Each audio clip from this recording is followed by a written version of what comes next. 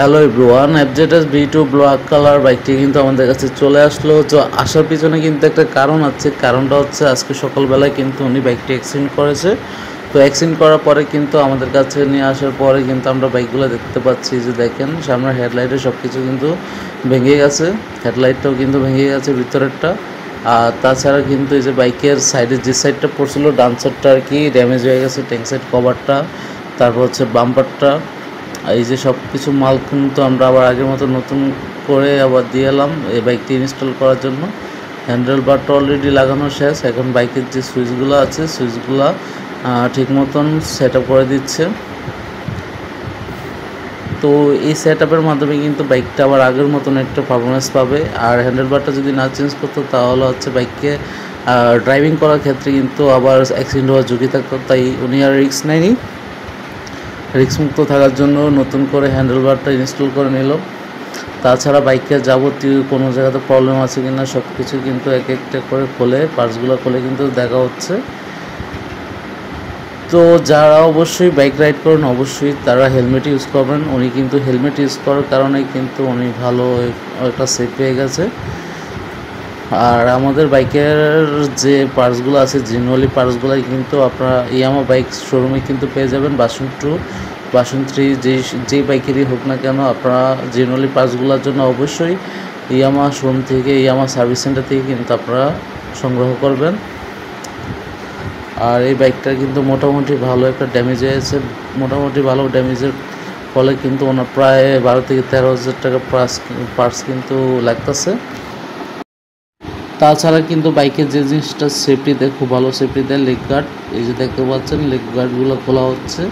নতুন যে মডেলের লেগ গার্ডগুলো বাসনটুর সাথে এখন এই লেগ গার্ডগুলো আর কি বেশি একটু, বেশিরভাগ একটা থাকে। আর কি আগের যে গোল একটা লেগ গার্ড ছিল, ওই লেগ গার্ডটার বদলে কিন্তু এই লেগ গার্ড কিন্তু এখন ইউজ করা হচ্ছে বাসনটুতে।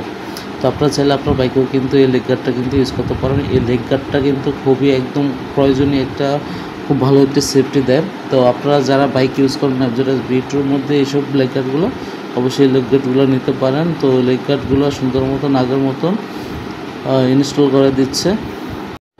এই যে পিছনের যে ক্যাপটা এই ক্যাপটা কিন্তু উনি নতুন লাগাবে। তো আগে যে ক্যাপটা ছিল, ওই ক্যাপটাতে অনেক পরিমাণ দাগ লেগে গেছে, তাই উনি এটা চেঞ্জ করে নতুনটা লাগানোর সিদ্ধান্ত নেয়। তো আমরা বেশি দেরি না করে নতুনটা দিয়ে দিলাম।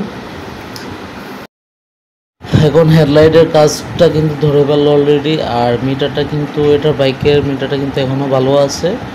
আর হেডলাইটের ভিতরে যে ব্যাক সাইডের ক্লামগুলো থাকে প্লাস্টিক টাইপের মাস্কটা যেটা হেডলাইটটা ধরে রাখে ওটার ভিতরে কিন্তু ফেন্টেন ভেঙে গেছে। তো এখন নতুনটা দিয়ে মিটারটা আবার আগের মতন লাগিয়ে দেওয়া হচ্ছে।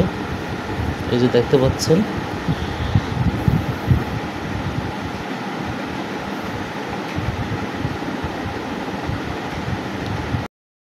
যেই কথা সেই কাজ চলে আসলাম হেডলাইটের কাছে। তো হেডলাইটে আগের মতন আবার ইনস্টল করে দেওয়া হলো। খুব সুন্দরভাবে এখন হেডলাইটে আলোটা সব ঠিক আছে কিনা সব কিছু টেস্ট করা হবে ইন্ডিকেটারগুলো ঠিক আছে কিনা, সেটাও টেস্ট করা হবে। যদি সমস্যা থাকে অবশ্যই চেঞ্জ করে দেওয়া হবে।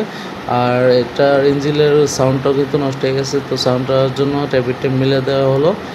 আর এখানে কিন্তু আপনার হেডলাইটের সাইডে যে কভারগুলো থাকে ব্ল্যাক কালার এই কভারগুলো কিন্তু এখন বের করে এখন আবার আগের মতন অ্যাডজাস্ট করে দেওয়া হবে।